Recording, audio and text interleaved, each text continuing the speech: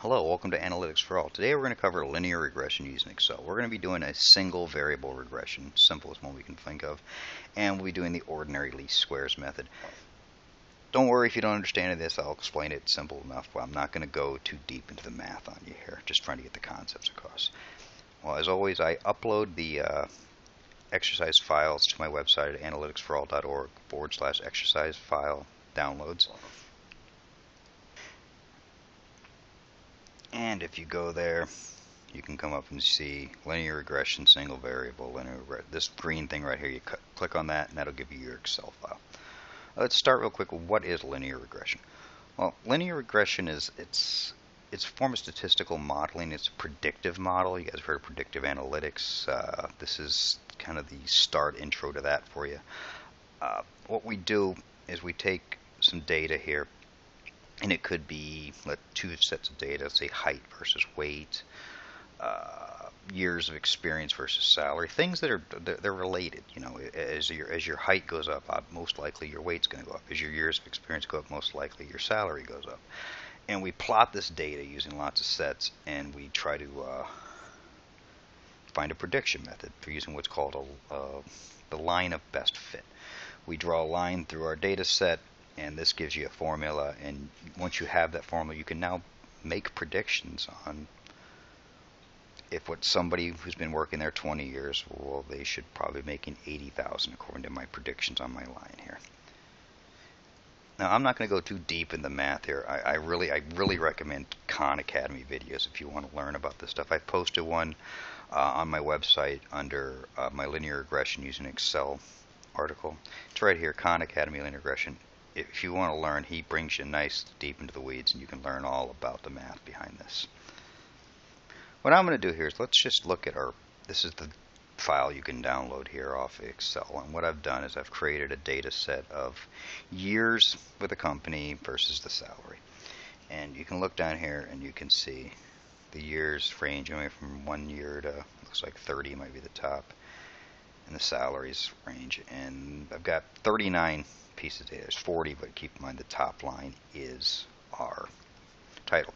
So how do we go about doing a linear regression in Excel? In Excel, it's incredibly easy. For those who remember having to do this by hand in stats course, you're going to love this. Okay, so what you do, just pick the first thing, hold down your shift key, and go down and highlight the entire data set. Okay, now we're going to go up top to the Insert tab on our ribbon, and you will see across here graphs and charts. We're going to drop this one. This is a scatter chart. This one with all the little dots. That's what we want to look at first. We're going to hit this guy right here. And I like the first one. I'm just going to click right there. Okay? And there you go. Now we have our scatter chart. Okay, so now we're looking at our scatter chart. And what we've done is we're plotting. Each dot represents a person. So each dot here is represents, this is the years working this is their salary. So based on our data we fed into it, it put us a dot for each one of those spots. Uh, so the first thing we really want to do is look at this. Get used to looking at graphs. I mean, this is probably the first thing. It'll save you a lot of time in the end. Because as you're seeing here, with this graph, we, we're seeing something here. There is seems to be a pattern. I seem to see a place where I could easily, you know, draw a line here that would kind of align with all these if I were looking at this and I had just a bunch of dots here, maybe some down here, and come over here, I would say this is not a candidate for regression. So that's why really the first thing to do is really to do these graphs so you can see and look at it and tell if it's even worth your time going forward. Okay, now we have the line, and you notice that as x increases, so does y. We call this positive correlation, okay, if you've heard the phrase. If it was to go the other way around, if as our x increased, our y went down, that would be considered negative correlation just need to know fact. You don't have to worry about it to move forward. That's just, you know, the phrase you'll see if you go looking up any stats books. Okay, but so going forward, our goal for today, what we want to do is we want to find this line. And well, how we do it is using what's called the ordinary least squares method. And what that means is, if you were to do this manually, you could sit there, look at this, and say, okay, well, this looks like a decent enough. Let's try this one. And then you'll go through and you'll measure what's known as the residuals here. And these residuals are the distance between the actual finding and your guess, your best guess, your, you know, some of these residuals are almost on the line, some are quite a bit off the line. And you'll measure all these residuals up, you'll add them all up, and then you'll do another line, and you'll add all those up, and then you'll do another line, and then you find the line that has the least number of residuals. Then that is your best bet.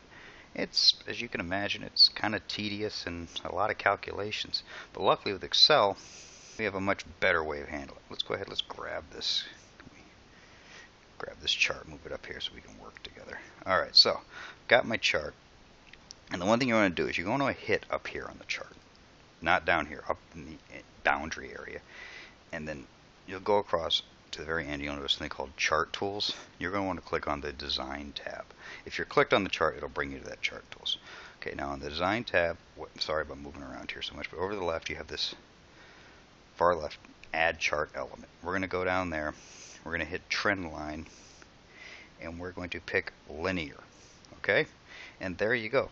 It has just calculated the line of best fit for us without us having to sit there and do all that math. Now, I'm not a big fan of the, the color here. So what I want to do is, hmm, first let's move this over here so we can work with this. Again, sorry, moving, moving. All right, if you click right here on the line, you'll notice my format trend line now pops up as an option here. So what I'm going to do is I'm going to make some change just to make it, this is just a visual, purely a visual thing. I'm going to change the color to red, bring this value up to 3, and I'm going to get rid of the dashes, make it solid. I like this line. This line looks a lot better to me. Okay, but now we got the line. We're looking, but what can we learn from the line? Well, not much just looking at the line. What we can do is you see these bars here, trend line options we're going to go here and we are going to show a few things. We're going to display the equation on the chart. Don't worry, let me see if I can get this a little bigger for you so you can see it. Uh, whoa, not that big.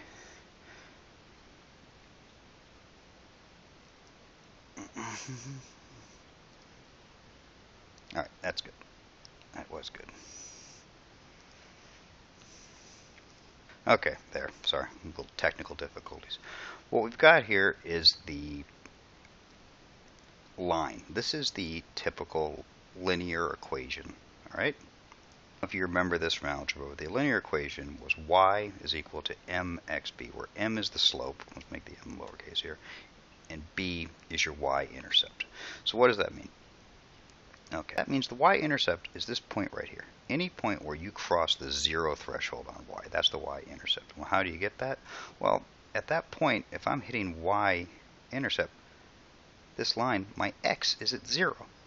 So if my x is zero, that automatically knocks that out. So that means the only value left on this side of the equation is the b value, the y-intercept. So what that is telling me is somebody with zero years, somebody first starting off this company, averages $50,974. Hey, not a bad starting salary. And it seems every year now will gain you because one in place of y will give me another 1300 to add, two will give me 1300 plus 1300, and so on and so forth. And so what we've done now is we've created our prediction equation. Now what can we do with it? Well, let's watch. Okay, so let's just make a little formula here. We're going to call years of experience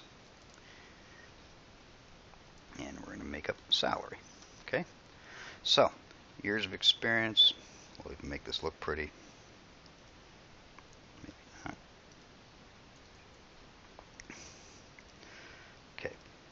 This is going to be a factor. We'll put in one as a placeholder right now.